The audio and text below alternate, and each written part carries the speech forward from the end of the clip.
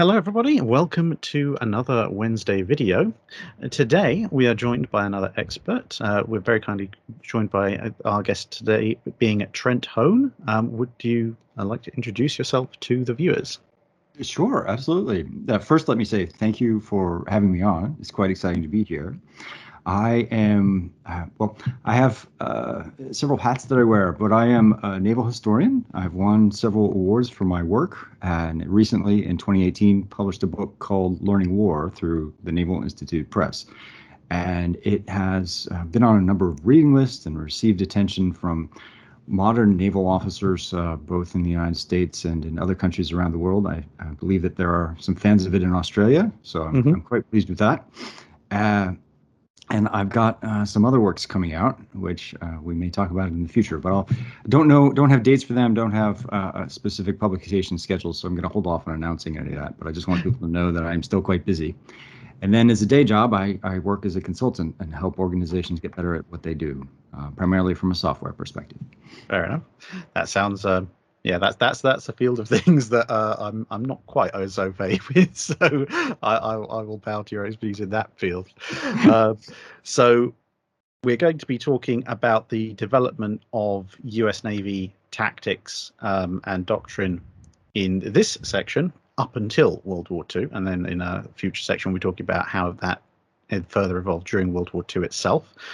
Um, and of course, you know, get, let's get an early plug in. If you want to know more details, you must go and buy Learning War because you know that's got all the extra details in it. um, so I guess to start off, um, what was the state of the U.S. Navy and its plans for conflict in the 1890s as it kind of enters the world stage as a as a great power? Quite rudimentary, actually. Um, so the the war with uh, Spain is a pretty significant marker here. Uh, It occurs in 1898. Uh, the United States Navy had been preparing for conflict with Spain or potentially some other European power in, in the years leading up to it. Uh, but those preparations are not very thorough. Uh, the ships of the United States Navy are distributed around the world in a variety of squadrons and stations. There is no centralized battle fleet that comes together and, and practices on a regular basis. They they do come together occasionally uh, for combat training, but uh, when they do, it's pretty obvious that they haven't worked out all the details about how to work together. Uh, so so tactical development is is relatively limited.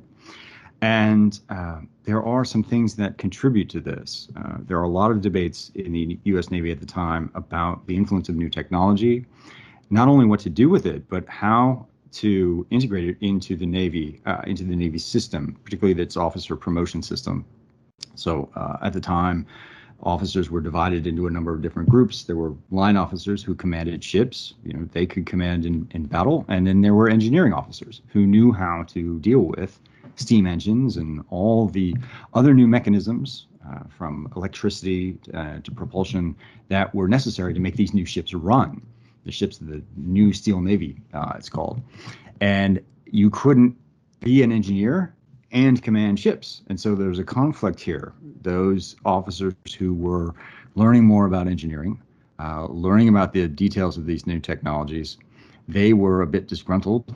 They wanted more recognition of their skills and capabilities.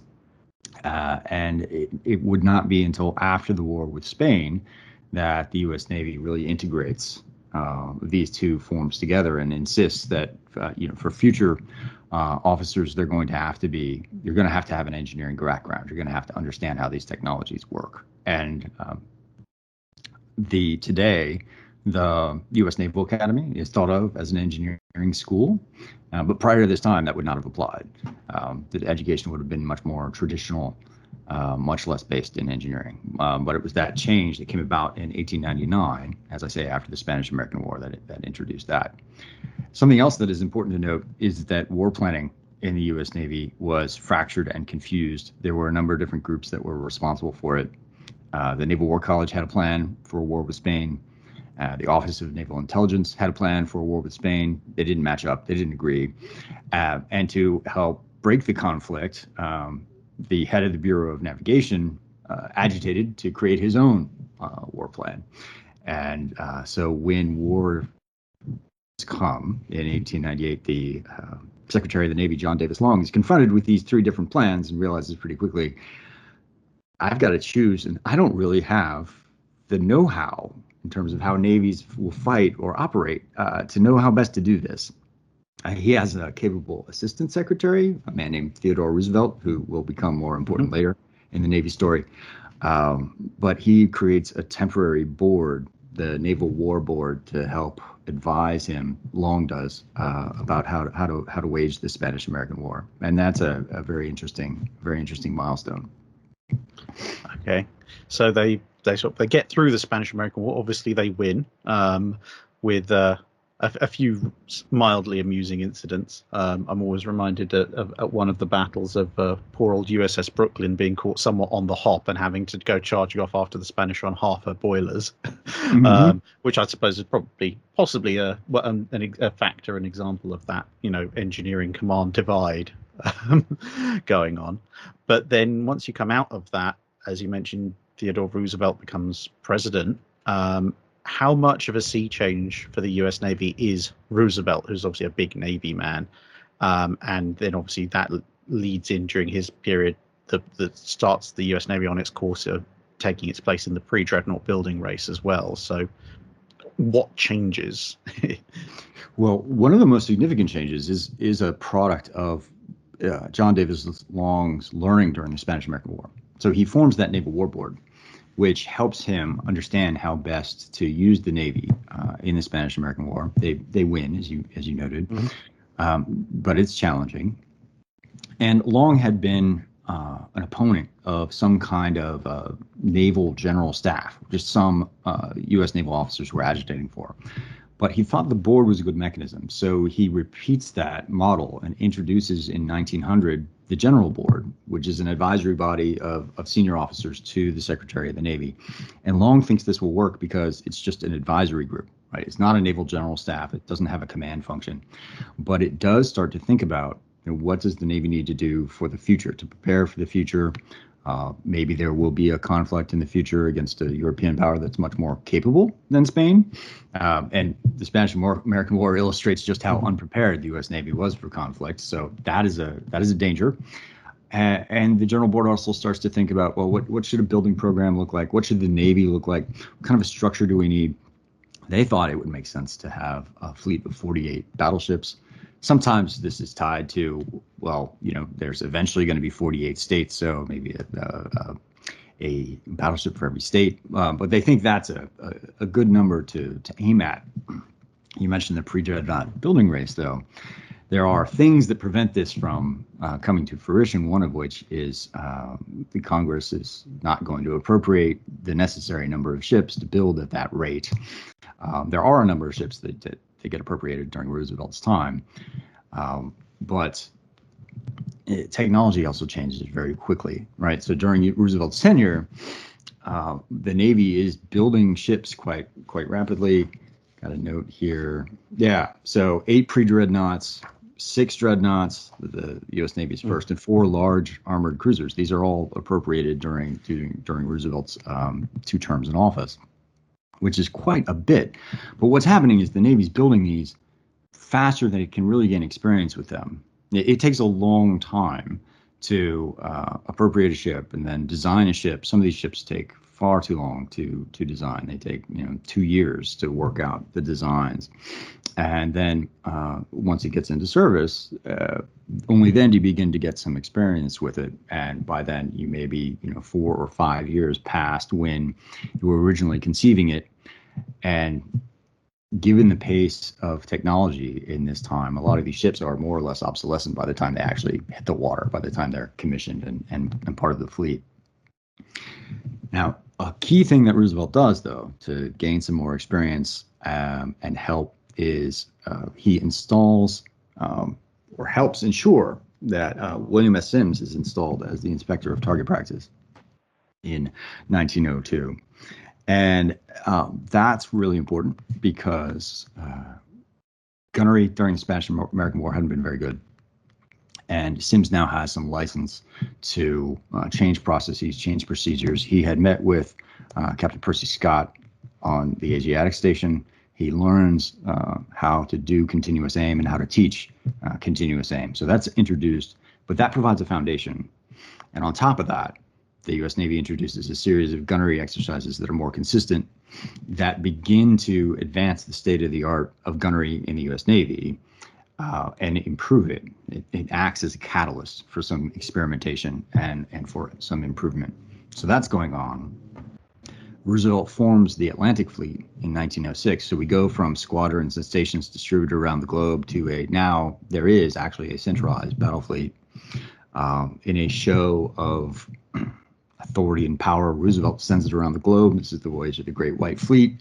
Uh, that starts in 1907. To, to some degree, this is a clear signal to the Japanese hey, look, we can take our fleet and we can send it around the world. We're not going to get beat the same way the Russians did in the Russo-Japanese War in 1905. Um, but it also um, initiates some diplomatic relationships, uh, specifically with Japan.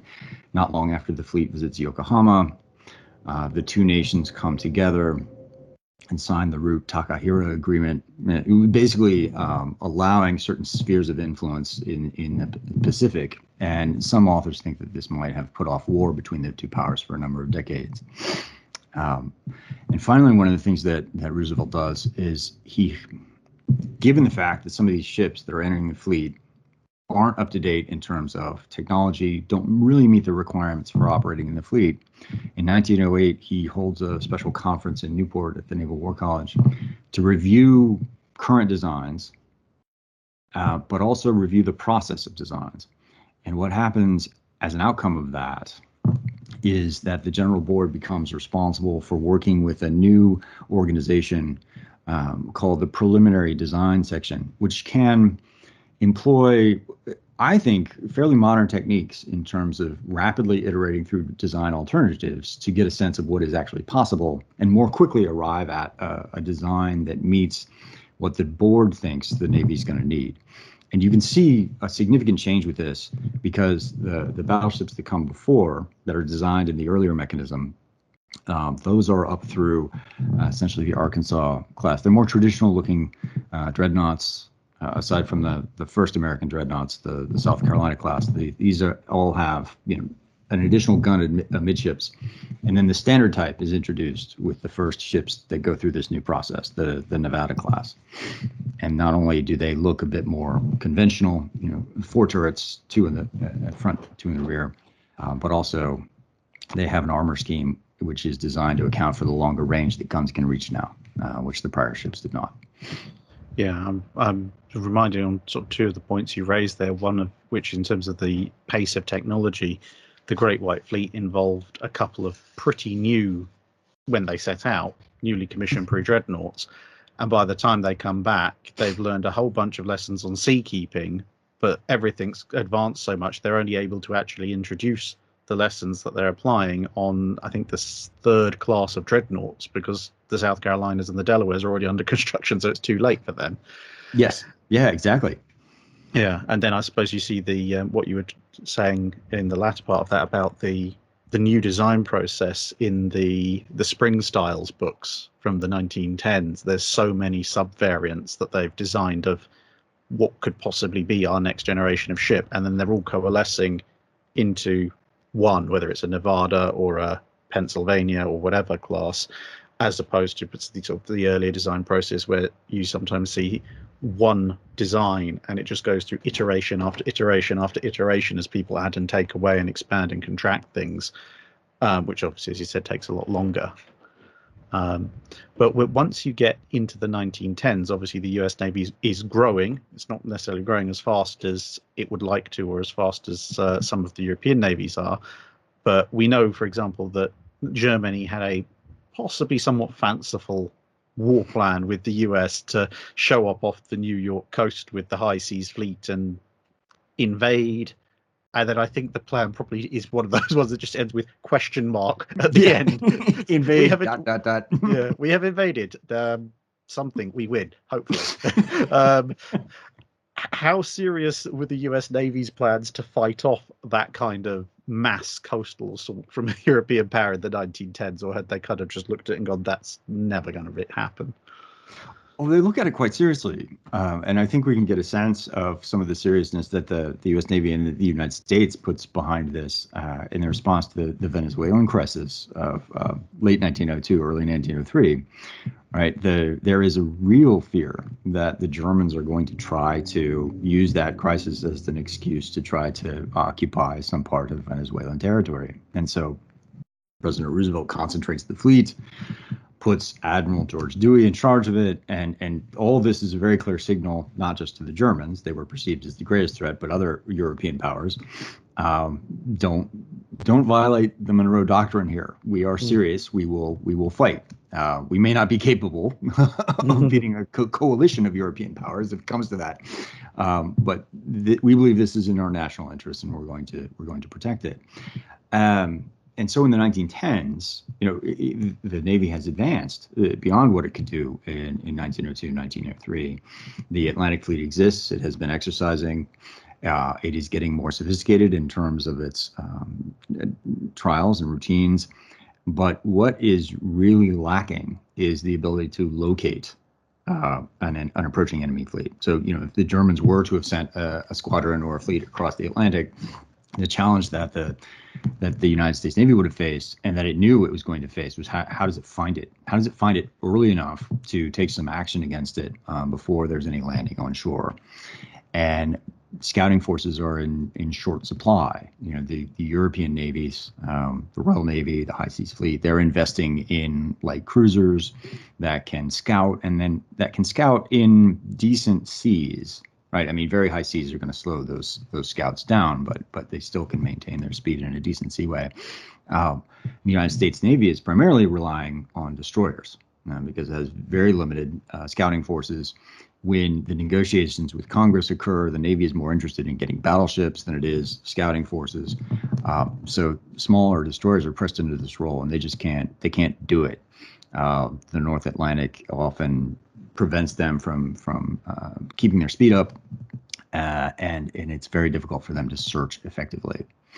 Now, one thing that I think is quite interesting is uh, the Navy thought that it would be more likely, you know, rather than the Germans coming to the coast of New York or something like that, they thought it would be much more likely that the uh, the Germans or some European power would try to seize a base in the Caribbean so a lot of the emphasis is not, I mean, there's some emphasis on protecting the East Coast, obviously, but it's more about, okay, if that happens, because you know, they expected that that could probably occur before it could be detected.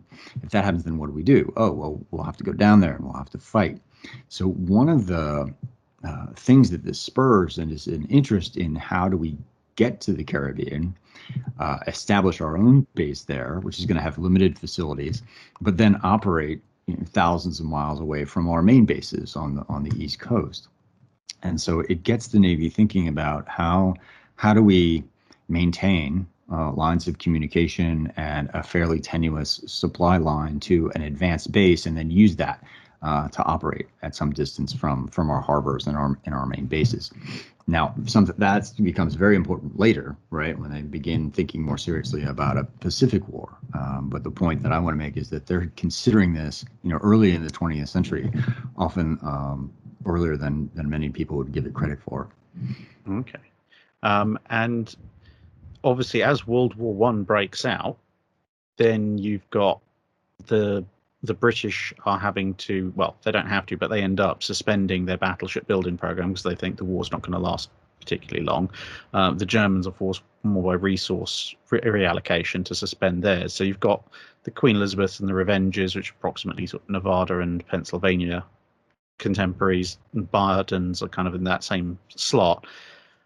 But the US Navy, not involved until 1917, is able to continue expanding its dreadnought fleet through the 1914, 15, 16, etc. building programs. So, what changes is the US Navy making to its fleet whilst everybody else is blowing up each other's ships and not having their major building programs on hold?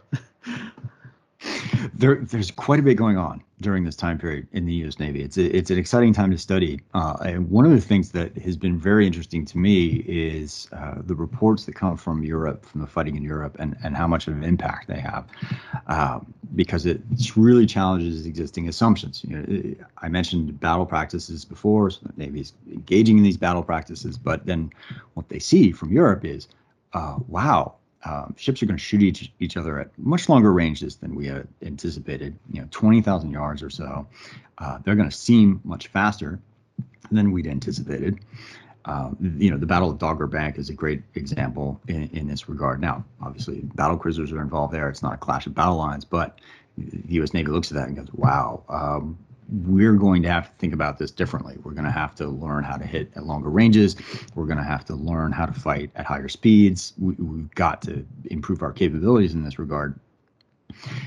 And that spurs an interest also, or reinforces an interest that already existed, you know, because large uh, armored cruisers had been built um, about a decade before.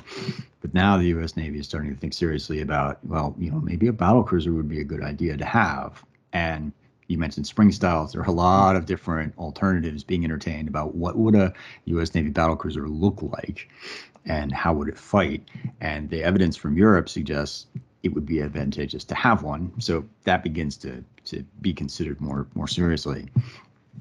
Um, at the same time, the Navy is devoting significant attention about how to how to fight uh, as a as a fleet. You know, because now this experimentation in the Atlantic Fleet is continuing, and it's really spurred in large part uh, by William Sims. Again, he was doing gunnery work. He, after that, goes to the Naval War College, studies there, meets some like minded individuals, one of whom is Dudley Knox. Dudley Knox is writing and thinking about this thing he calls doctrine.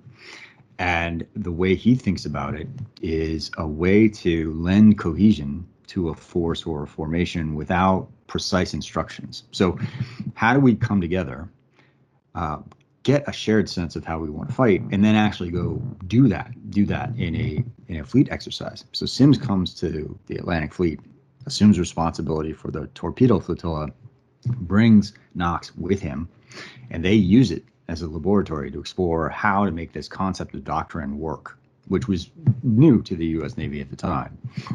And they do quite well. And a whole series of exercises, they um, prior to the exercise, they'll bring the, the various captains of these small ships, the torpedo boats or torpedo boat destroyers together, familiarize them with the upcoming contacts, develop a plan, rehearse it, you know, war game it, and then uh, go out and, and execute it. And that familiarization that they go through gives them a shared sense of how to act. So they can uh, engage in night tactics, or they can fight with some level of cohesion that is often missing from other elements of the fleet. And they demonstrate this repeatedly in exercises. A few years later, mm-hmm. uh, Frank Friday Fletcher is in charge of the Atlantic Fleet, and he builds on this, or at least enhances it, with this idea of uh, new a new set of battle instructions. When we go to battle, we'll have a plan. Fletcher doesn't specify what exactly the plan is going to be, but he says we'll have a plan and the plan is going to depend on circumstances but but i'll i'll promulgate it. And so he's relying on this idea that there'll be uh, doctrine so these smaller groups will know how to fight together because they will, will develop some level of unit cohesion and then we'll have an overarching plan that will guide their individual action in combat to a to a common end. And these things become part of the navy's approach to tactical combat uh, for the next 30 years also, um, the Navy is improving its ability to hit accurately at longer ranges. So, driven by this need to shoot at longer ranges, guided or harnessed by the gunnery exercises that are going on, they build uh, or contract to the Ford Instrument Company, run by Hannibal Ford, not Ford the automaker, uh, to build something they call a rangekeeper, which you know is an electromechanical computing device that figures out the fire control solution uh, and it is trialed uh, in 1916, proves effective, and begins to get adopted and integrated into the fleet. So there's a lot of work going on to improve the fighting effectiveness of, of the U.S. Navy and also consideration of uh, what it's going to need to do in the future. One other thing worth mentioning, you talked about continuing to build battleships. Absolutely. And they begin to experiment with new propulsion mechanisms. So, Battleship New Mexico ushers in the turbo electric drive, which is going to be the standard going forward for the standard battleships, the the, the Tennessee and Colorado classes, and also be entertained for those that are uh, appropriated under the 1916 bill. And a big piece of the uh, concept there is just to improve the the fuel efficiency of these ships because now they're starting to think not only would we might might we have to steam to the Caribbean and fight, uh, but maybe we're going to have to steam to the Western Pacific. Maybe we're going to have to fight Japan. Uh, and if we do that, we're going to need significant range. So we have to get as much, you know, mile out of out of every um, barrel of fuel oil as we can. Turbo electric drive is a way, is a way they think to to, to help achieve that. Yeah, it's um, something that uh, some turbo electric drive ships as you mentioned, some of the ones appropriated in the 1916 bill, like Lexington and Saratoga. Um, Saratoga, perhaps more so than Lexington. You can see a, f- a fair bit of that steaming around the Pacific in uh, World War II. So, speaking of that 1916 bill, um, how much of the uh, US Navy's expansion plans were driven by politics and how much was driven by themselves when it comes to to, to this bill? Are they kind of left going, oh, we have money now. We don't know. We don't know what this feels like. Congress is being generous for once, um, while frantically looking in the Book of Revelations to find out if this is a sign of the apocalypse, um, or or were they kind of driving this, saying we want more money, we want to expand, and has kind of have a plan in place ready for when Congress decides to open the floodgates. Oh, they, they, they have a plan. Um, so the division between politics and the Navy de- depends a little bit on where you want to you want to draw that line because the the General Board is thinking uh, politically or or uh, maybe um, geostrategically is a better way to put it. Um, they had been advocating for a 48 ship battleship fleet for some time that's not going to be achieved. But they renew the call for that in 1915. Like, no, we want to get to 48 ships. We'd like to get there by 1920. So we want an accelerated building program. We want more ships to to get there. Um, the political concern, which the uh, the board is mindful of, is that maybe the, Euro- the European war seems to be causing them to think about a number of different alternatives, all viewed from you know what are the worst things that could happen from the perspective of the United States. Uh, one thing they're worried about is well, maybe Japan is going to switch sides. Maybe they will ally with Germany, and then we will be faced with this, you know, hostile coalition, the Germans on one side and the Japanese on the other. Uh, and maybe there'll be a truce in Europe, uh, so they'll be able to fight us alone. You know, right? Mm-hmm. Maybe the the other European powers are going to be exhausted, and um, end the war. So they're worried about potentially the war ending and Germany and Japan being hostile, fighting, having to fight, you know, in, in both theaters at, at once. Now that's rather fanciful, right? But that doesn't mean it wasn't being talked about as a as a potential, which gives you some sense of you know sort of where the the uh, some of the people in the general board where their head might have been. Um, the other challenge is, well, maybe we'll get pulled into the war right? Maybe we're just, you know, because in 1915, Lusitania is sunk, the, the Germans' uh, political opinion is very much turning against them. Um, so maybe we'll get pulled into the war. If we get pulled into the war, uh, President Woodrow Wilson is thinking, well, if I have a large navy, I have a little bit of a better bargaining chip. You know, maybe I can use that as leverage uh, to help ensure that the peace that ensues is more aligned to the interests of the United States going forward.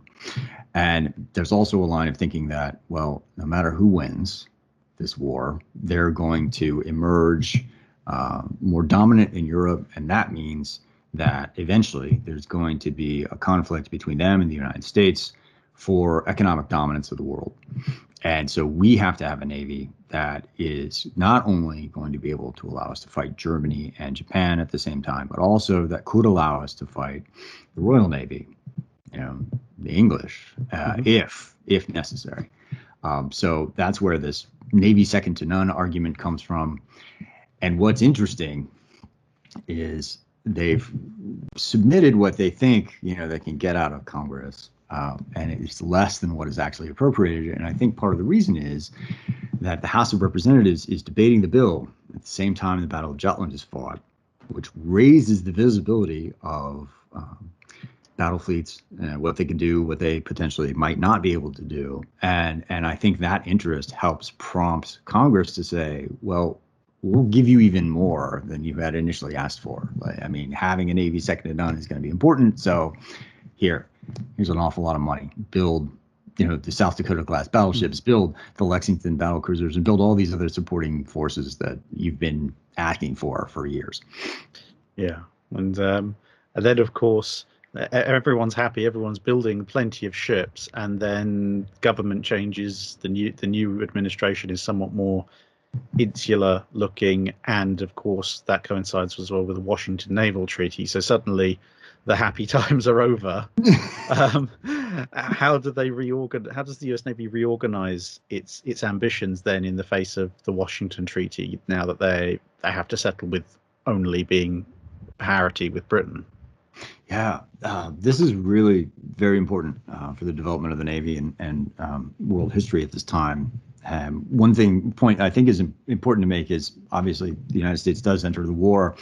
Um, the U-boat threat is much more serious than the United States Navy had anticipated, and so a lot of building resources and, and funds are reallocated away from these larger ships to smaller ones that can help in that fight. So destroyers, vice, um, battle cruisers, or battleships.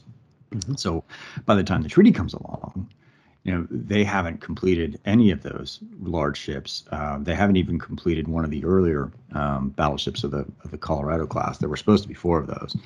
There only ended up being three because Washington is is canceled as part of the treaty, and it does a, a lot of different things. So by now, the U.S. Navy is seriously starting to think about well, we will probably have to fight Japan eventually. Um, well, Japan is still allied with Great Britain. That's a problem, but the treaty provides a way to to break that. You know, that alliance is formally renounced. So Japan is split away from Great Britain. That creates a little bit more geostrategic space for the United States Navy to think about how to fight the Japanese. Uh, but they have to abandon a plan that they have. You know, there had been plans. We will turn Guam into a fortress. Uh, we will reinforce our bases in the Philippines. This will make it easier for those locations to hold out in the event uh, of a war if the Japanese initiate something. And we would will um, send the fleet to the west, and it will operate from there. Well, uh oh, the treaty says we can't do that. There's this non-fortification clause. Yikes. Uh, okay. but because there's a enforced ratio, as you mentioned, right? Parity mm-hmm. between um, the Royal Navy and the U.S. Navy. Um, but the Japanese are relegated to second class there, the, the five five three ratio in terms of, of capital ships. So, because the Japanese battle line is smaller, um, the U.S. Navy still thinks, well, we w- won't have these Western Pacific bases, but since we're stronger, we can probably just steam across the Pacific and win a battle line action and then ultimately uh, establish a base that allows us to impose a blockade of Japan. So this is the early War Plan Orange concept. Um, Ed Miller, in his his book on it, uh, calls this group sort of the thrusters. You know, we're going to move across the Pacific very quickly, uh, and that paradigm dominates uh, roughly until until 1934. And one of the reasons it dominates is because um, well, the, the, treaty ratios, um, confidence that the that the Navy could do this, but it, it is abandoned in large part because the Japanese have dominion over what are called the mandates, and these are former German island possessions in the Central Pacific, the the Marshalls, the Marianas, uh, and the Caroline Island groups, and the the Navy sees this sort of a two two ways. One, you know, some some of the officers who I think are a little bit more forward looking and more astute realize oh, if these are Japanese possessions, we might be able to capture them. That might be advantageous to us in a war. Uh, and some of the others realize, particularly as airplanes develop in their capability, wow, the Japanese are going to be able to base planes on these.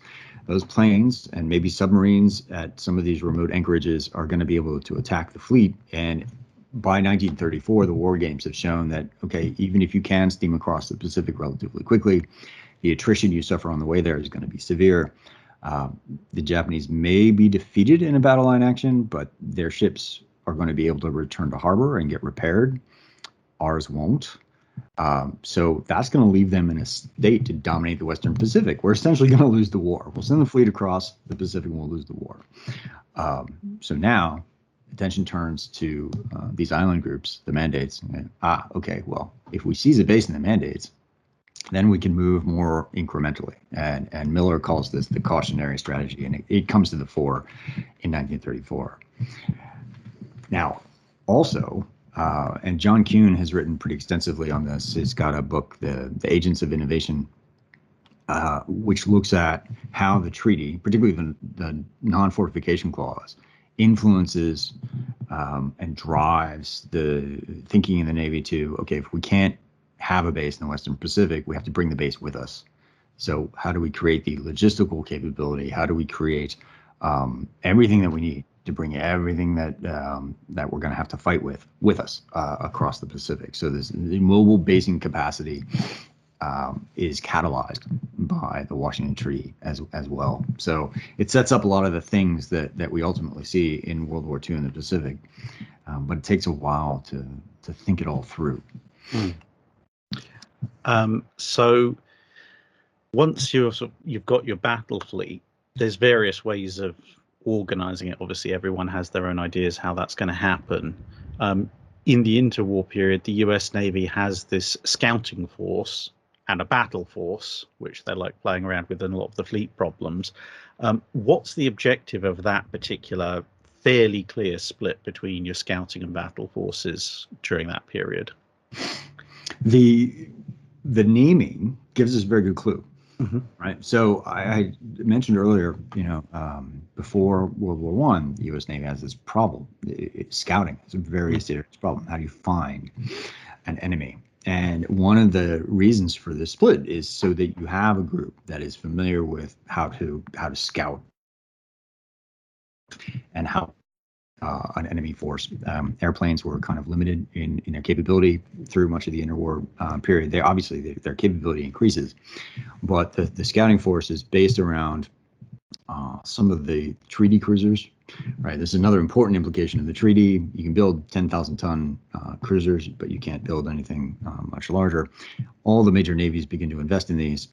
Uh, the U.S. ones are they very much emphasize firepower and speed and range um, particularly the earlier ones, don't have a great deal of armor. Uh, but they form uh, part of the anchor of the scouting force. The scouting force also includes um, some of the more modern destroyers, and the intent is to be able to use it. Uh, the airplanes on the cruisers, um, the destroyers, uh, later on augmented by patrol planes to seek out and find the enemy. One of the things that I think is quite interesting is, is there's obviously an intention not just to find, you know, not just to locate the enemy fleet, uh, but there's a lot of investment in something called the night search and attack, which had been developed before the uh, United States entry into World War One, but it gets really sophisticated in the interwar period. Uh, procedures are developed to uh, create scouting lines so that you can sort of search where you think the enemy is going to be. Once you find them, um, you, they're assuming you're going to be finding a screened force, so it's not just um, isolated enemy ships. It's a, it's a disposition. There are formations for entering or fighting your way through that screen disposition. These uh, bring together cruisers and, and, destroyers, particularly these heavy cruisers. Um, the intention is to use their guns to shoot through the enemy screen, punch a hole. The destroyers would enter the enemy formation and then attack heavy ships at its center with torpedoes they model this, uh, they experiment with it in, in fleet problems. Now, those obviously have limitations. You're not actually shooting. Uh, the pace of some of those actions are a little bit different uh, than what you would actually see in, in combat, but the intention here to use heavy cruisers and destroyers together to penetrate an enemy formation, and then also to collaborate with patrol planes. Um, these are all interesting pre-war explorations about how to bring these disparate units of the fleet together in, in uh, cohesively um, that I think are quite interesting. And then they have some implications for how the Navy fights in, in World War II. It doesn't all work out this way, uh, but some of these antecedents, you can see their influence later on in like 1942 and 1943. Okay, so yeah, that explains that. It's just to say, it's there's all sorts of different theories going around in the in the interwar period of how they're going, how people are going to find the enemy. Um, but speaking of the interwar period, there's a lot that's made in different books and different circles about the fairly sharp spike in tensions between the US and the UK in the late 1920s. And some people say, oh, yeah, well, it was very close to war and just averted. Other people think, you know, there was never any real chance of, of that happening. As far as the US Navy was concerned, how serious were they when it came to potentially having to go into war with the British Empire in the late 1920s? I think most American naval officers did not think this was a serious possibility. Mm-hmm. Uh, you don't see the kinds of, I mean, if, if you look at the Orange plans, it is very, you know, very focused on how are we actually going to fight a war. If you look at red plans, so red was the the color um, for the British Empire. Um, these are more thought exercises, you know. So um, they they engage in these, uh, sort of strategic problems and tactical problems at the Naval War College.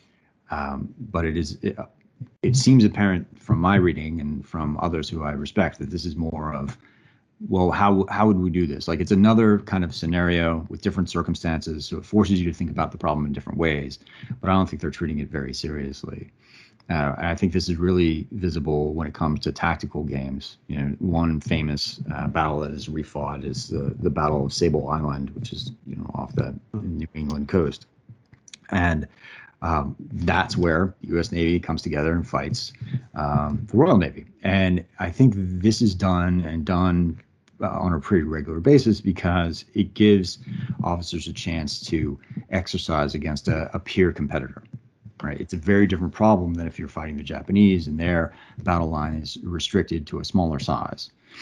Uh, so if you're fighting the Royal Navy, you're fighting sort of, I mean, the ships have different capabilities. So obviously you have to figure out how are you going to leverage the strengths of yours and, and mitigate your weaknesses against the opponent. But you're fighting uh, uh, a sophisticated battle fleet that has almost equal capabilities. And I think that's a different challenge. And they wanted to exercise that challenge, wanted to understand, you know, how, how would we do this? Um, how do we make sure that we're thinking about all these different criteria? Um, and so I think that's what you see. You see a lot of um, exercise that is more geared toward how do we think about this? How do we conceptualize it? How do we do this mentally and less how are we actually going to win a war with the with the British? Mm. Fair enough. Yeah, it's. It, I must admit, it's what it's one of those areas of naval history that's somewhat. I want to say niche, but it's it's less talked about. But when it does get talked about, it suddenly provokes all sorts of riotous discussion in some quarters. Yeah. Yeah. Yeah. Uh, another uh, another thing to think about along uh, those lines that I think is quite interesting. I forget. Uh, ah I regret that I can't remember the exact year, but uh, at one point in the 30s, the U.S. Navy sends a fleet to Australia. Mm-hmm. And I think one of the things that's being considered is, um, I mean, most of War Plan Orange assumes that the United States will fight Japan on its own. Like each of them will be uh, alone. There won't be any significant alliances involved. Uh, but I do think that there is an effort to try to ensure that there are friendly relations between the United States and Australia.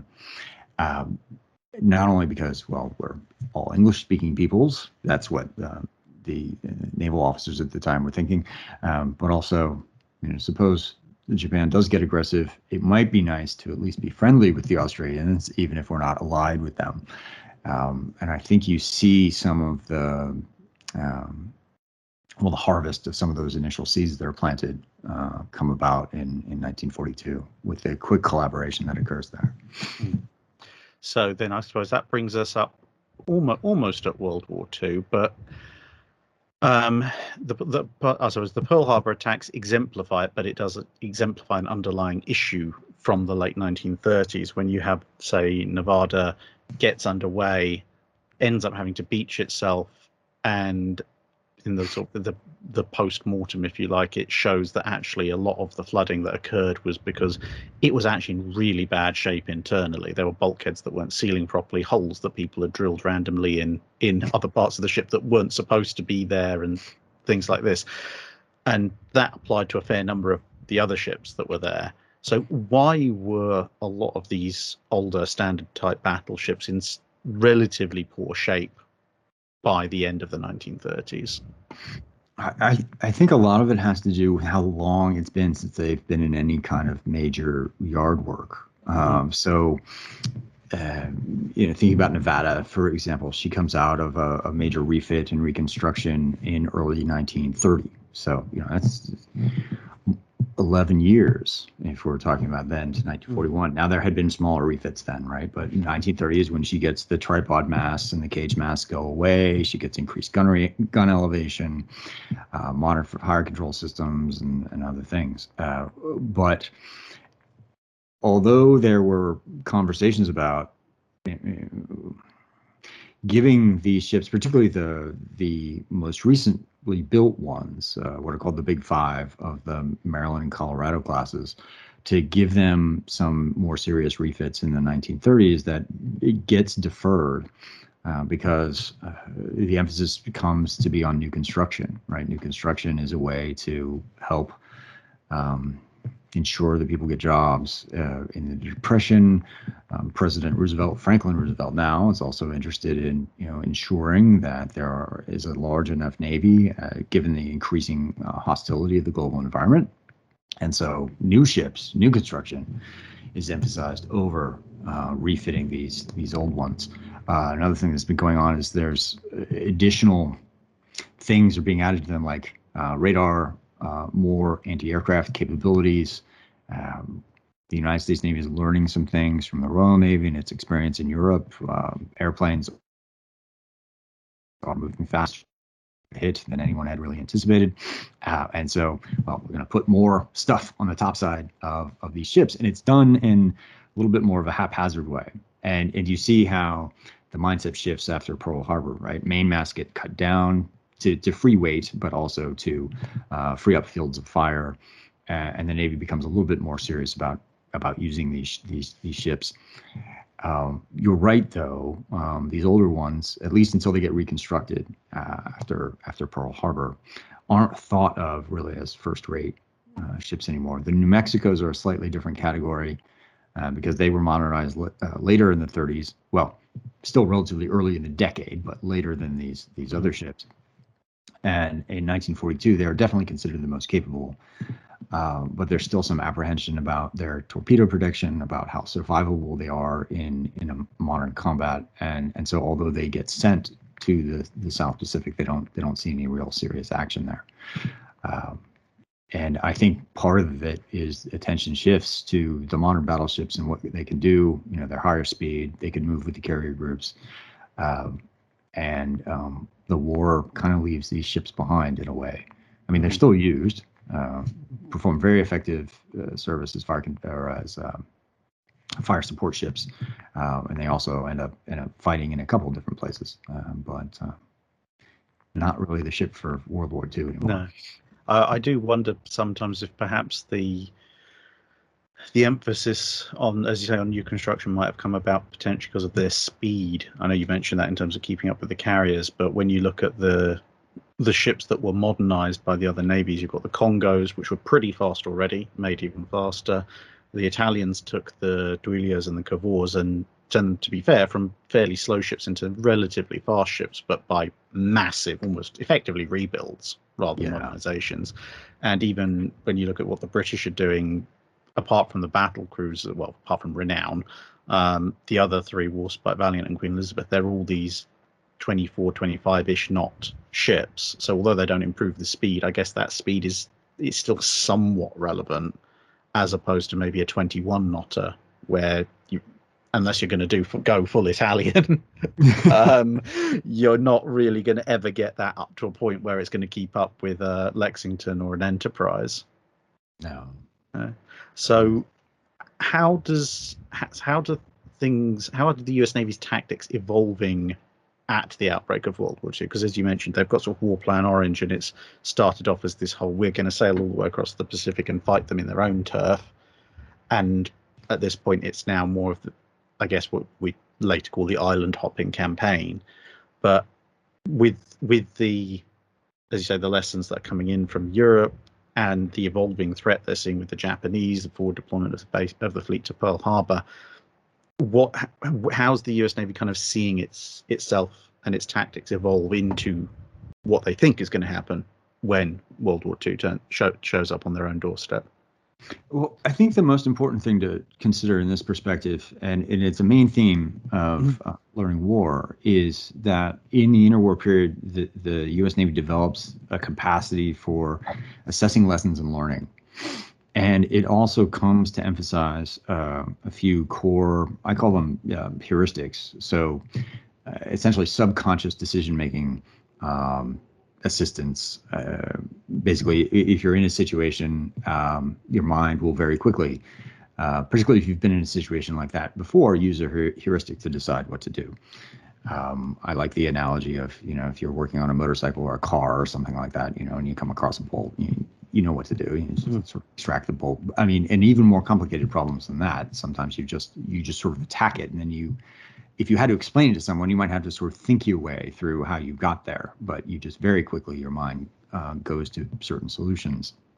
And three, I think are most important here. The Navy was ag- emphasizing aggressive action. So act aggressively to try to seize the initiative in battle. Uh, a good way to do that is to attack effectively first. Now, that's Wayne Hughes's term, um, who unfortunately is no longer with us, but he's written uh, or had written a series of books on naval tactics uh, I remember reading one of those in the 80s and being strongly influenced by it. Um, so naval officers of the late 30s and early 40s would have agreed with the basis, the basic supposition there, which is you, you want to hit the enemy before he can hit you, and hard enough to make a difference. And then there's an emphasis on decentralized decision making, right? Because a, a, very effective way to um, seize the initiative and to act aggressively is to encourage junior officers to um, make their own decisions and seize fleeting opportunities in battle. And that extends also to doctrinal development. Uh, one of the criticisms that is sometimes leveled against the U.S. Navy at this time is, is that there wasn't uh, a comprehensive uh, doctrine, and that's true. Uh, but it was deliberate because the intent was to ensure that smaller units, like the torpedo flotilla in world, uh, prior to World War One, could develop their own doctrines for how to fight. Um, so those are there.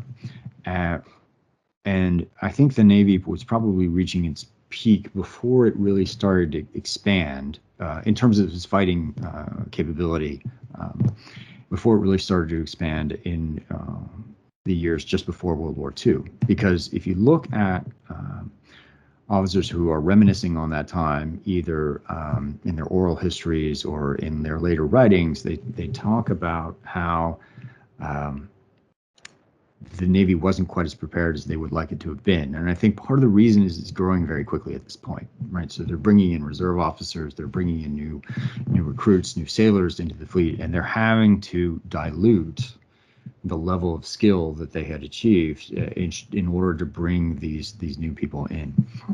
Uh, and so there's not quite as much uh, time for the training, or the training isn't quite to the same level as it was before but the learning capability is still there. And once the war starts, they they turn it on. They turn it on pretty quickly. Um, some things are getting more sophisticated. As I mentioned, they're learning from the Royal Navy. Reports from the Royal Navy are coming in about what modern aircraft attacks are like, uh, and not unlike World War One, speeds are higher. Uh, and the danger is greater than anticipated. This starts to drive more thinking about how to more effectively hit fast moving airplanes. I mean, there are already some sophisticated fire control uh, computing systems in place, but um, the timing here is uncertain. I don't know if reports from the Royal Navy drive it or if it's just the, the U.S. Navy's own initiative, but they begin to think about how they could create um, simpler lead computing sights um, that are going to you know allow you to to hit better with some of the uh, automatic weapons that are going to be put onto the fleet, like the 40 millimeter and the, and the, and the 20 millimeter. So the learning system is starting to work or is working. Uh, radar is coming into the fleet, uh, but its limitations aren't terribly well understood. Uh, and some of the, the the level of, of, of training is tapering off as the as the fleet grows. Uh, but what I think you see after the war begins is that that system gets harnessed relatively quickly to try to figure out how best to take existing pre-war approaches and adapt them now to this new wartime context. Okay, and I suppose that brings us up to you know, World War II. So they've they've started off what 50 odd years before, as you said, as a kind of a, a small navy just trying to find their way in the world.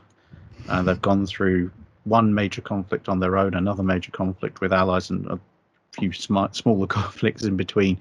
And it, the, the, US Navy has grown very rapidly. I suppose this is, well, I suppose one of the things that people sometimes forget the sort of the Royal Navy got where it was for, through several hundred years of constant expansion and fighting, and the U.S. Navy has effectively gone from a somewhat glorified coastal defense force to coming up to be well, it's now on a par with and is soon to be the biggest navy in the world in pretty much the space of the career of one particularly long-serving officer.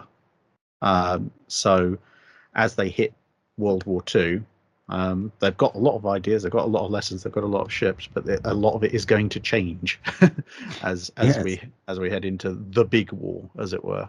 Mm. So I suppose that's uh, probably a good place to leave it for today. So for those of you who want to know what happens next, spoilers: America wins. um, the, but, the Allies win. Yes, the Allies win. But how how they get around to um, doing that is uh, something that we will look at in uh, another video. So thank you very much for the moment to Trent Hone for lending his expertise. And once again, for those of you um, who want to look into more detail on what we've just discussed, Learning War is available in all good bookshops, US Naval Institute Press, uh, Amazon, etc. across the world. Strongly recommend you uh, get hold of your copy. That's it for this video. Thanks for watching. If you have a comment or suggestion for a ship to review, let us know in the comments below. Don't forget to comment on the pinned post for dry dock questions.